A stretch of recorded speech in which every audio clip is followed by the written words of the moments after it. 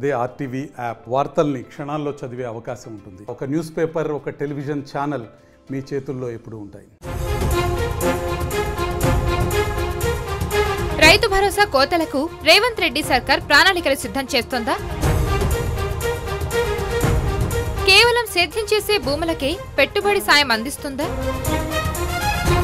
ఐదు ఎకరాల్లోపు ఉన్న రైతులకే రైతు భరోసా వస్తుందా అంటే అవుననే మాట వినిపిస్తుంది. అంతేకాదు ఇలా చేస్తే ప్రభుత్వ ఖజానాకు దాదాపు పదకొండు వేల ఐదు వందల యాభై కోట్ల ఆదా అవుతుందని అంచనా వేస్తుంది రేవంత్ సర్కార్. రైతు భరోసా పథకం ప్రక్షాళన దిశగా అడుగులు వేస్తున్న రేవంత్ రెడ్డి ప్రభుత్వం వచ్చే సీజన్ నుంచి కేవలం సాగు భూములకే పెట్టుబడి సాయం అందిస్తామని బడ్జెట్ సమావేశాల్లో ప్రకటించింది. ఇప్పుడు ఆ దిశగా అడుగులు వేస్తుంది. అసలు రాష్ట్రంలో ఉన్న సాగు భూమి ఎంత? బీడు భూములు ఎన్ని ఉన్నాయి?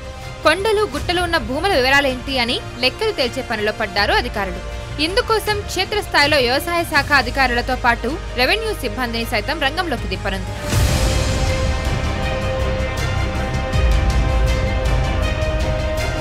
ఇక రైతు బంధు లెక్కల ప్రకారం తెలంగాణలో మొత్తం ఒకటి పాయింట్ యాభై రెండు కోట్ల ఎకరాల పట్టా భూములు ఉన్నాయి. ఎకరం లోపు భూమి ఉన్న రైతుల సంఖ్య ఇరవై రెండు పాయింట్ యాభై ఐదు లక్షలు.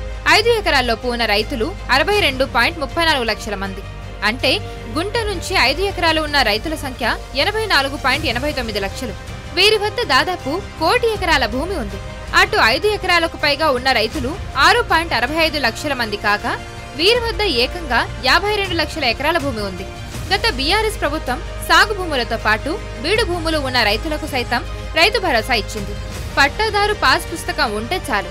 వ్యవసాయం చేయకపోయినా కొండలు గుట్టలు ఉన్న పెట్టుబడి సాయం అందింది.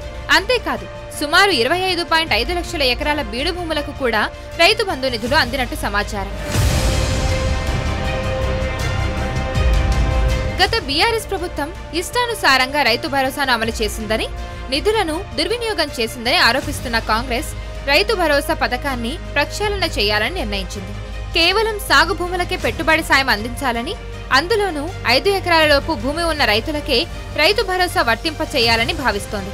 ఐదు ఎకరాలకి పరిమితం చేస్తే ఏటా ఏడు వేల ఎనిమిది వందల కోట్లు బీడు భూములు కొండలు గుట్టలు ఉన్న భూములను తీసేస్తే మరో మూడు వేల ఏడు వందల యాభై కోట్ల రూపాయలను ఆదా చేయవచ్చని అంచనా వేస్తుంది. దీనివల్ల పథకంలో నిధుల వృధాను పెద్ద ఎత్తున అరికట్టవచ్చని భావిస్తోంది. ఈ మిగులు నిధులతోనే ఎన్నికల్లో హామీ ఇచ్చినట్టుగా కౌలు రైతులకు కూడా రైతు భరోసా ఇవ్వొచ్చని అంటున్నారు. దీనికి సంబంధించిన మార్గదర్శకాలు సిద్ధం చేస్తున్నట్టు ప్రకటించింది రేవంత్ సర్కార్.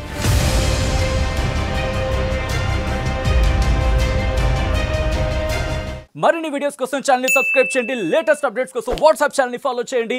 అండ్ లింక్ డిస్క్రిప్షన్లో ఉంది.